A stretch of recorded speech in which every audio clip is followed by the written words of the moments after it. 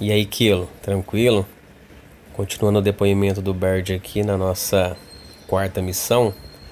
Dessa vez o desafio das estrelas são os nemacistes, né?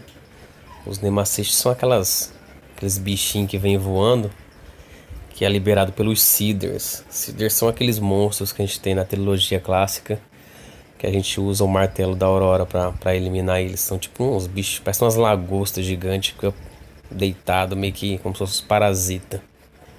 Então o desafio dessa missão são os o Nemasist. Então a gente vamos, vamos ver como é que a gente passa dessa, dessa parte aí. Antes da gente começar, eu gostaria de deixar uma dica aqui importante nesse game, que é o seguinte. Sempre que você for, for começar uma missão, não tiver alguma granada disponível, coloca a opção reiniciar sessão, que você sempre vai começar com duas granadas. A única coisa que vai acontecer assim, de negativo é você perder alguma arma do seu interesse, porque você sempre vai começar com uma Gnasher e com uma Lancer, tá? E duas granadas. Mas é muito eficaz, porque às vezes você precisa de granada nesse game aqui.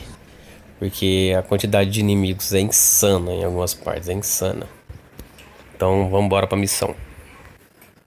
Então aqui é o seguinte, aqui a gente tem duas sentinelas, né? Vamos posicionar essas duas sentinelas à nossa esquerda aqui no meio da escada. Por que aqui? Porque a movimentação que a gente vai fazer vai obrigar vários Grubs a vir nessa direção. E as sentinelas vão matar eles pra gente. Vai, vai fazer a gente economizar um bom tempo.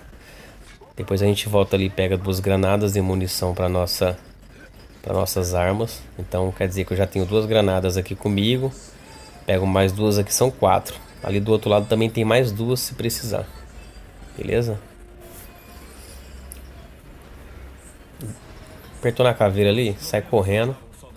Não aperta o select ainda para começar a onda não. Pega a direita ali, ó, desce a escada. Faz exatamente esse caminho que eu tô fazendo. Chegando aqui, você aperta o select. Aqui vão aparecer dois ninhos, tá? Se você for preciso na, na mira, você vai destruir os ninhos ali com as granadas. A nossa direita aqui tem duas portas. Cada porta dessa vai sair um grub. Tem vez que você destruiu os ninhos ali e essas portas ainda não abriram. Então dá tempo de você ficar esperando o Grub sair e matar ele. Sempre vão vir Grubs aí. Depois que a gente matar os Grubs, a gente sempre vai atravessar o salão ali, ó. À nossa direita. Pega reto sempre pelo canto aqui. Porque se a gente for pelo meio, a gente pode trombar algum Grub e os Nemacysts, tá? E esses Nemacysts ele, ele mata a gente com muita facilidade. Porque eles soltam essa tinta. Então na dificuldade insano mata a gente muito rápido. Então a gente está perto dos sentinelas aqui, viu? Ó, ó o regaço que, o, que, os sentinelas fizeram aqui. Tem vezes que a gente chega aqui, os, esses grubs já estão até mortos, não estão nem, nem rastejando. Então a gente finalizou o restante dos grubs ali. Volta para trás aqui esquerda nesse quartinho que abriu também, ó. Tem munição Onyx, tem granada ali também. Eu tinha pego uma Hammer Bust no chão, porque a Hammer Bust ela tá, tá muito boa no game.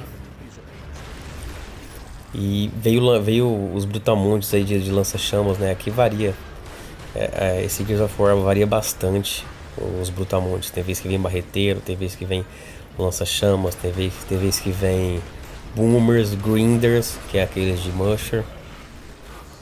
Então vai variar muito da, da sua jogatina. Geralmente quando vem esses de lança-chamas eu acho mais fácil de matar. Agora boomer e grinder é mais, mais embaçado. Mas dá pra fazer também. Então a gente mata os dois brutamontes ali. Ó, você viu que o Nemasist quase me matou, né? Então a gente dá cabo do, dos dois brutamontes ali e a gente tá dando. tá acabando praticamente já com essa primeira onda. Tem um grub ali em cima que eu vou serrar ele. Então quer dizer, a gente usou as duas granadas no ninho, né? E a gente recuperou mais duas granadas naquele quartinho lá junto com a munição Onix. E eu ainda tenho mais duas granadas ali, se eu precisar.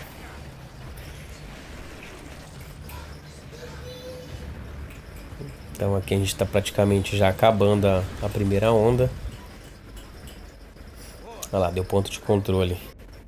A gente já conseguiu praticamente ali duas estrelas, então tá, tá tranquilo. O que, a gente vai fazer agora? A gente tem mais ou menos uns 10, 15 segundos.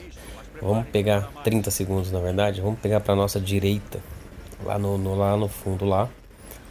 A gente vai esperar lá. Tem que ser exatamente naquela, naquele segundo quartinho ali onde que apareceu um dos grubs. Por quê? Se a gente ficar mais no centro aqui, vão aparecer inimigos nas nossas costas e na frente. Como a gente vai estar tá mais pro canto, Então não vai aparecer inimigo nenhum nas nossas costas. Então a gente vai se preocupar só só com a nossa a nossa frente, né? E aqui vão vir bastante uns 4 ou 5 grinders. Eles são bem chatos, cara. Então daqui como a gente tá com a Hammer Bust, dá pra gente ter uma uma proteção boa e dá pra dar uma fuzilada neles legal ali. Sempre tomando muito cuidado ali, porque o dano é muito alto. Enquanto isso a gente vê os trapalhões ali no meio ali, trocando tiro, tomando Nemassist, dois Nemassist de uma vez, trocando tiro com o Grinder ali não, não morre, cara. É bizarro. Mas enfim, vamos ficar nesse cantinho aqui de boa, que é, é a salvação. Ali era um, um de cutela, na verdade, que tava perseguindo ele, nem um Grinder não era, mas assim, tá num, num ambiente ali que se a gente fosse, pode ter certeza que a gente ia morrer rapidão. Então, vocês podem ver que aparece bastante Grinder ali, ó. Sempre se protegendo. Sempre tomando muito cuidado com o dano que tá, tá foda. Depois dos Grinders vão aparecer mais alguns Grubs que vão saltar do, do, do subsolo aqui, mas nada demais. Nossa preocupação mesmo são mais esses Brutamonte ali.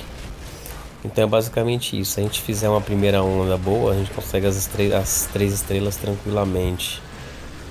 Só, só fazendo a mesma, o mesmo esqueminha aqui que, que dá certo. Beleza? Então é isso aí, galera. Falou, valeu e kilo out.